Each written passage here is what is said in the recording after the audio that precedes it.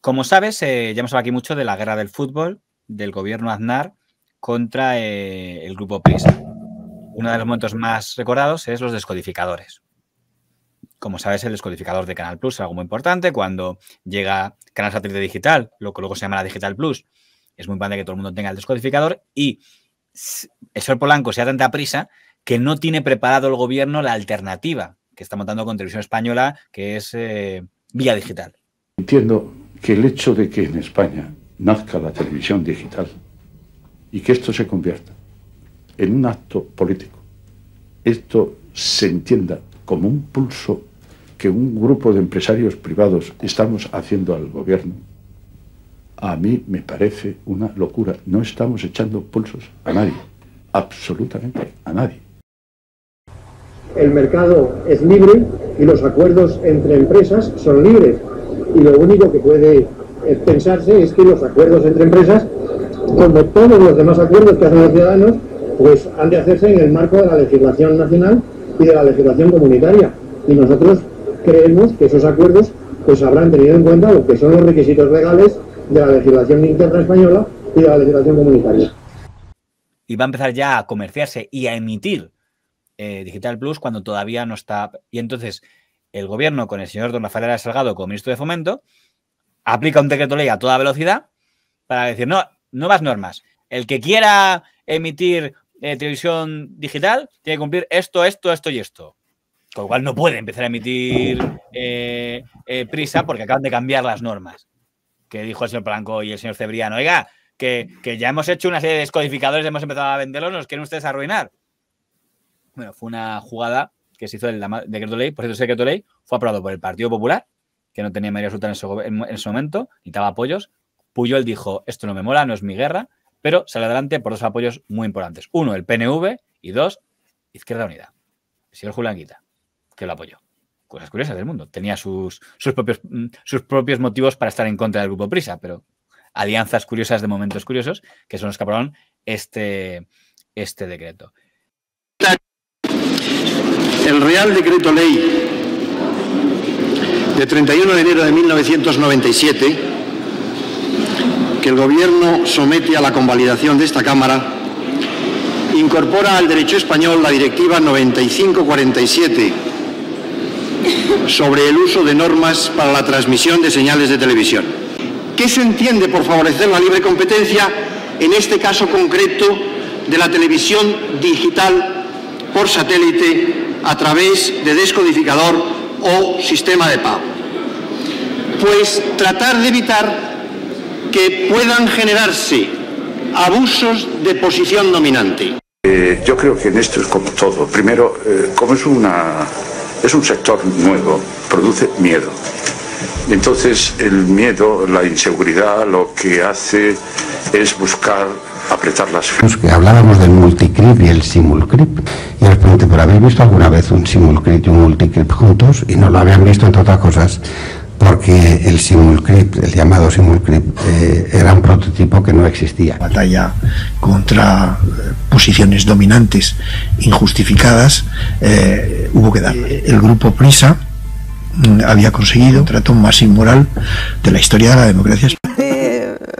Sojecable y demás frenando esta empresa para permitir que la otra pueda salir adelante a, a no sé si es exactamente eso sabes o lo que está o lo que está tratando es de combatir con la urgencia necesaria el que un monopolio, de hecho, que se estableció en, la etapa del gobierno socialista, se prorrogue indefinidamente en perjuicio de los españoles. Las situaciones de privilegio que se crearon en la etapa socialista, pues es necesario combatirlas y desgraciadamente pues hay que hacerlo con premura porque no hay tiempo para, para mm, espaciar la situación y que lo que nos encontremos sea con cuestiones de hecho que sean insalvables.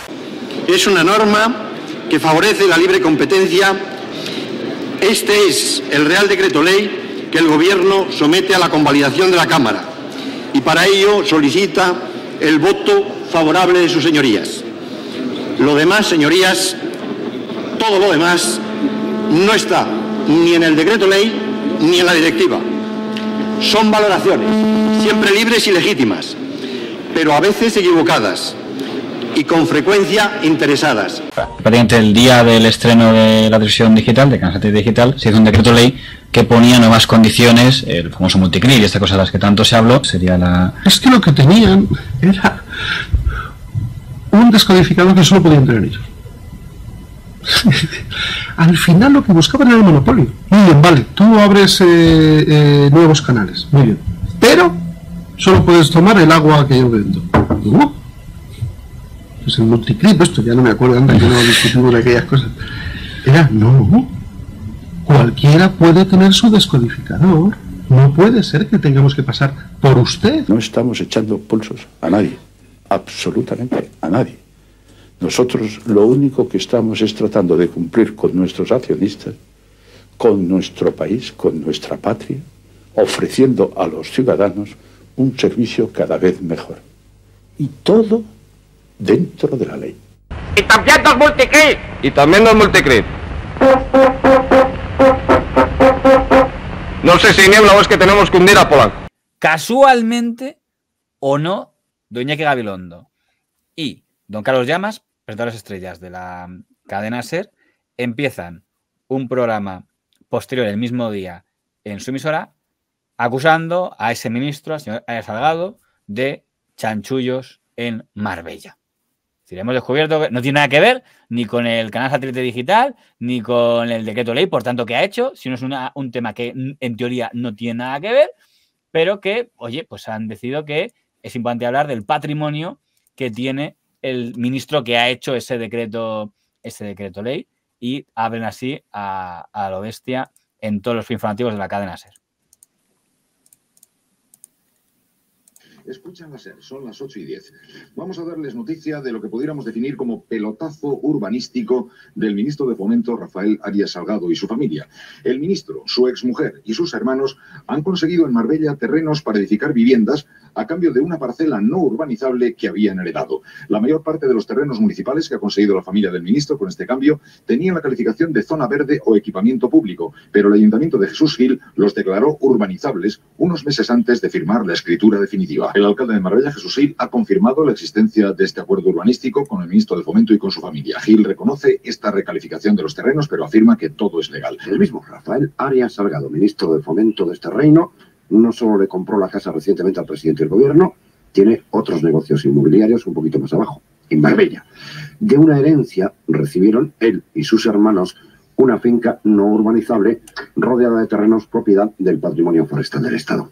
El ministro Arias Salgado ha pedido comparecer urgentemente en el Congreso para dar cuenta de todo esto y anuncia acciones judiciales contra la cadena SER. No sé si, si te parece que la, evidentemente lectura que yo estoy haciendo, yo mismo al narrarlo así estoy ejerciendo una vinculación. Eh, quizá el señor Gabilondo, ya más ya me diría, usted está comparando cosas, pero porque a usted da la gana, si os la mata. Esto habían pasado unos meses a fin de cuentas, tal. ¿Por qué hace usted esta vinculación de esto por lo otro? El acuerdo entre la familia de Asalgado y el Ayuntamiento de Marbella fue llevado a escritura pública hace aproximadamente un año y medio. Según el acuerdo entre la familia y el Ayuntamiento marbellí, los Arias Salgado dejaron en manos del municipio esa finca heredada de 20 hectáreas, valorada por el Ayuntamiento en 235 millones de pesetas, para recibir a cambio varios terrenos que suman una superficie menor, unos 20.000 metros cuadrados, pero sobre los que pueden construir chalés adosados y viviendas unifamiliares. Con ese acuerdo, registrado en escritura, se cerraba una negociación que había comenzado en 1990, cuando gobernaba el PSOE en Marbella, pero que sufrió cambios radicales a partir de la llegada de Gil al ayuntamiento. Hombre, mm, es, lo que pasa siempre en estos casos. Una vez que ya hay una guerra abierta, una vez que ya se ha montado una disputa, cualquier excusa se va a buscar, tenga algo que ver o no. Lo hemos visto en muchos casos cuando eh, han sacado trapos sucios hasta debajo de las piedras que no tenían nada que ver. Con la información que disponemos que ha dado la cadena SER, el asunto eh, es un asunto complicado para el ministro. yo creo que un ministro del gobierno eh, estas cosas las tiene que poner blanco sobre negro y comunicarlas a la institución que corresponda, al Parlamento, a la oficina de intereses, a donde sea, para que sean transparentes desde el principio, porque en cuanto entramos en una política de recalificación de terrenos y de sospechas, según los cálculos eh, que se hacía esta tarde en el propio Parlamento, una cosa que en principio podía valer 200 millones está valorada en más de 1.000. No sé si esta información es exacta. decir, nosotros no hemos hecho ninguna eh, eh, valoración al respecto. Estos son opiniones, opiniones vertidas. Eh, opiniones de dirigentes del PSOE, por ejemplo, que han hablado de posibles beneficios superiores a los mil millones de pesetas. Entonces estamos un, estamos un poco asombrados de ver en esta en esta época del pelotazo de las stock options de la de las subvenciones del lino, pues hombre, el poco cuidado, el poco escrúpulo que tienen. entonces yo creo que aquí hay que analizar dos cosas. Primero, si es solamente un asunto estéticamente feo o si realmente puede estar incurso el señor Arias Salgado en tráfico de influencias o en una situación de trato privilegiado por parte del ayuntamiento al concederle unos terrenos con ventajas sobre los que se habían permutado. Yo creo que esto es un tema muy serio y es un tema que tiene que ser eh, parte de un análisis de una comisión de investigación y que tiene que ser análisis por parte de los tribunales de justicia. Cualquier excusa se va a buscar, tenga algo que ver o no, lo hemos visto en muchos casos cuando eh, han sacado trapos sucios hasta debajo de las piedras que no tenían nada que ver, pero para intentar vencer al enemigo. Cuando por los medios normales y por los medios legales no puedes, tienes que intentar destruirle de otra manera y tienes que ir a atacar a otras partes. Y es lo que están haciendo aquí, ni más ni menos, no tiene otra, ¿eh? Intentar buscar las cosquillas de otra manera, porque de otra no podían. Usted, que es portavoz socialista, que por lo tanto conoce el asunto. Yo creo que aquí es tan sencillo como decirle al señor ministro Arias Salgado que si él cree que, y aceptó, y lo dijo así, y, lo firmó, que su suelo valía 235, yo le reto a que valoremos el suelo que hoy tiene y que le hagamos una valoración urbanística y comprobaremos, hecho por técnicos, que desde luego lo que él tiene ahora vale miles de millones. Salgado. Y es que, como sabe muy bien el señor Bayón, que comparte conmigo eh, uno a un lado de Málaga y yo a otro, es que eh, todos eh, toda la Costa del Sol andaluza se eh, cometen los mayores desmanes urbanísticos, ¿verdad?, que se producen en toda España, porque todo Cristo empieza a construir sin tener licencia de obras. Pero eso es cierto, pero estamos hablando de lo que estamos eh, hablando. Eh, es bastante cierto en Marbella, pero en cualquier caso... en Marbella y en, Estamos hablando de lo que estamos hablando. Pero si esto lo hace un ministro es especialmente claro, claro. Es, para hundirle sin buzo. Cuando el tratamiento de una noticia empieza con aspectos injuriantes, peyorativos, tendenciosos y, politizantes. Mire usted, eh, yo no puedo hablar en, esos términos porque es falso y lo sabe quien lo dice. Y es consciente de que es falso, pero no le importa, porque no le importa que sea falso, no le importa desinformar a la gente. Lo que le importa es montar un escándalo para hablar de algo ficticio, que no se tiene en pie, en cuanto se puede hablar serenamente y con papel y lápiz del tema. Nuestros medios de comunicación y de manera muy especial la cadena SER, escribieron una brillante página de rigor informativo, dedicación y servicio a la verdad. Según ha podido confirmar la cadena SER, que tiene en su poder documentación del propio Ayuntamiento de Marbella, el Ministerio de Fomento se comprometió pocos meses después de la firma del acuerdo, concretamente el 17 de agosto de 1999 de este año, a invertir más de 50 millones de pesetas en el equipamiento del terreno destinado a parque público que el ministro y su familia entregaron al Ayuntamiento a cambio de las parcelas edificables. Es decir, unos meses después de cerrar la operación de permuta que beneficiaba a sus intereses y a los de su familia, el ministro de Fomento comprometió dinero público de su departamento para equipar el terreno municipal que había sido anteriormente de su propiedad. Es decir, que a mí me expropien que me minusvaloren mi propiedad y que encima me acusen de dar pelotazo, bueno, pues es un abuso de, frente a, su clientela y a sus, a sus oyentes absolutamente eh, perverso. Los jueces dirán quién tiene razón, pero ahí se han vertido versiones injuriosas, versiones tendenciosas y datos falsos a barullo, ¿eh? que evidentemente tendrán que juzgar los tribunales. Han vertido una serie de conceptos no ya solo falsos, sino injuriosos partiendo, repito, porque son muy inteligentes, de datos objetivos que son escrituras públicas inscritas en el registro. La pregunta es si ellos dirán, bueno, pero era verdad o no, eh, tenemos derecho a contarlo. Otros dirán, pues que desafortunado que justo lo hagáis contra el ministro que ha hecho una información que perjudica algo de, vuestra empresa, ¿no? Y, fíjate que luego no le sale bien, porque como vemos aquí, al final condenan a Gabilondo y la cadena SER por atacar el honor de... A ver, un poco más grande, por favor.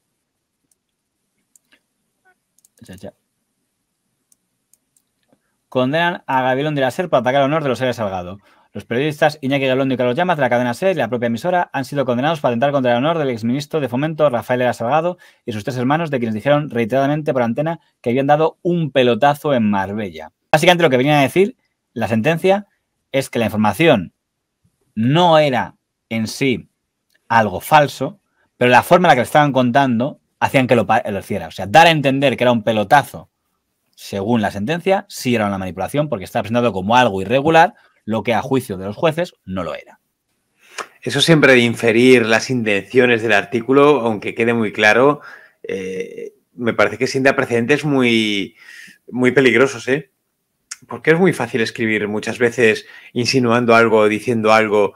Oye, yo es que en ningún momento a lo mejor he dicho que esto sea un pelotazo o cualquier cosa. Quiero decir, he expresado uno, una idea, cada uno, si uno está eh, infiriendo, no sé cómo lo decían, si se veía claramente que estaban eh, dejando claro que era un pelotazo, ¿no? Pero. Vamos a ver la palabra, ha dicho, el ministro ha dado un pelotazo en Marbella. Entonces sí, ya está fuera, pues no hay más.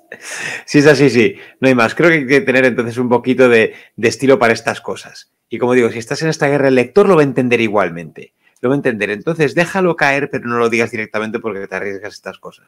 Aunque supongo que les compensó, imagino, ¿no? Escuchan la SER, son las 8 y 10. Vamos a darles noticia de lo que pudiéramos definir como... Pues ya está, venga, listo, joder, ya está. O sea... Esa fue un poco la, la frase que le valió la, la, condena al señor Gabilondo, en este caso. Pero una cosa curiosa, Qué este torpeza, caso... ¿no? ¿eh? Qué que torpeza no, era grande. cosa de, no creo que era cosa de él. Es que no creo que esto fuera cosa ni del señor Gabilondo ni del señor Llamas. Yo creo que la dirección de la SER, que probablemente la ejercía ya, o don Antonio García Ferreras, que yo creo que era director de informativos en ese momento, y por encima de él estaría el- don Augusto del yo creo que eran los dos que mandaban en ese momento, pues ya, oye, eh, leña eh, a estos. bueno. Alguna vez con alguna cierta maldad. No, no nos han echado bronca a los redactores. Alguna, alguna, alguna vez se intentó constatar una noticia dos minutos antes de darla, para que no se pudiera constatar. Eso también Y la noticia se todavía. mantuvo y se mantuvo hasta el día siguiente, de tal manera que se hizo pública al día siguiente y costó una sentencia firme de demanda al honor contra una importante cadena de radio de este país, un medio de comunicación y su ilustrísimo director. Es decir, la posición dominante de un determinado grupo eh, de medios de comunicación social, pues eh, corría el riesgo de desvirtuar una situación verdaderamente eh, democrática y competitiva. Y entonces habría que, había que abrir, pusimos coto al contrato de al contrato de exclusividad de la red telefónica con el grupo Prisa. El grupo Prisa, si me permite el, en tono coloquial, fue un poco contra usted. Recuerdo que sacaron cosas de incluso de la familia, hubo pleitos. Por supuesto. Esas cosas eh, olvidémoslas. Que- Son personales y no tienen, la- no tienen mayor importancia. A repartir Ya, el pero- tema. Mira, fíjate lo que dicen por aquí. Uno debería ser responsable de lo que dice, no de lo que entienden los demás. Está claro, pero cuando estás diciendo una información sensible, que además la estás buscando sobre todo para, para perjudicar al rival, es, es guerra sucia ya directamente. Te da igual los pelotazos urbanísticos o no. Eh, lo estás diciendo por, por todo lo que ha pasado antes. Pero, Tienes que pero- cuidarte mucho. Pero ¿sabes lo mejor de todo? Eh, Es que el origen del conflicto que yo he marcado, eh, la ley de los descodificadores, el decreto ley, fue declarado ilegal por el Parlamento, eh, por el Tribunal de, Estos Derechos Humanos de Estrasburgo, como se llame, el Tribunal de la Competencia Europea, y multaron a España. De hecho, voy a decir la, la cantidad de cómo acabó e- ese tema. O sea, se consideró que hacer una ley específica para perjudicar a una empresa para beneficiar a otra, es decir, en este caso contra Canal Satélite Digital del Grupo Prisa para beneficiar a Vía Digital de Televisión Española, se consideró que era una ley ilegal, que lo que había hecho... No se había eh, metido en esta guerra para nada, entonces. Sí, lo que pasa es que, hombre, eh, eso no estaba hecho para paralizar temporalmente. Ah, perdón, he dicho el Tribunal de Derechos Humanos, no, el Tribunal Supremo. El Tribunal Supremo Español condena a España, al Estado, a indemnizar al Grupo Prisa por el decreto eh, eh, ley, y cuánto le pagamos, 26,4 millones de, eh, no sé, supongo que sería de euros o de pesetas, no me acuerdo. Esto, es- ¿Qué año estamos? Yo- 2003 ya era euros, pues 20, Sí. 20 millones de euros que tuvo que pagarle el Estado al Grupo Prisa. Uh. Y esto es interesante decir una cosa, esa multa la tuvimos que pagar todos los españoles. O sea, no la pagó ni el señor Aznar, ni el señor Anguita, ni el PNV. Los, que tuvimos que pagar a Polanco fuimos el Estado españoles, pero aquí no puedo culpar al señor Polanco, sino a los que hicieron aquel decreto ley y luego no fueron los que lo pagaron. Así funcionan nuestros impuestos. Hombre, está bien que... A ver, no voy a ponerme... Es que últimamente salen muchos vídeos de gente quejándose de, de pagar impuestos y todo eso. Claro que hay que pagarlos. Lo que pasa es que hay algunos que los pagas ya... Venga, porque sí. No sé si, si esto se vio reflejado de alguna manera. Hombre, 20 kilos no lo sé, pero me parece horrible, sinceramente. Señor Cascos, los responsables de la empresa Sogecable no han cometido delito alguno. Ustedes han perseguido a los titulares de esta empresa, Grupo Prisa, por tierra, mar y aire, porque consideran que su actitud es crítica al gobierno, tan saludable por otra parte en toda democracia. Responsabilidad de su gobierno en el atentado a la libertad, a la libertad de empresa y el daño patrimonial que se ha hecho a quien no se debía solo por tener un espíritu crítico con su gobierno. Gracias. Lo que les interesa es permanentemente acreditar su capacidad para defender los intereses del grupo PRI, Sociedad Anónima, Urbi et Orbe. Y lo hacen además en un momento, lo hacen además en un momento en el que ejercen la oposición a un gobierno que está ampliando el número de televisiones locales, el número de televisiones de pago digitales, el número de operadores de telecomunicación, el número de operadores de cable. Y a ustedes en este momento, señoría, lo único que les preocupa es el interés del grupo PRI Sociedad Anónima. La comunicación, la prensa, los medios, eh, nunca son un poder en sí. Son, yo soy más partidario de decir que son un contrapoder. Lo que sí creo es que tiene una capacidad de influir importante. Y creo que es absolutamente legítimo utilizar esa capacidad de influir para influir.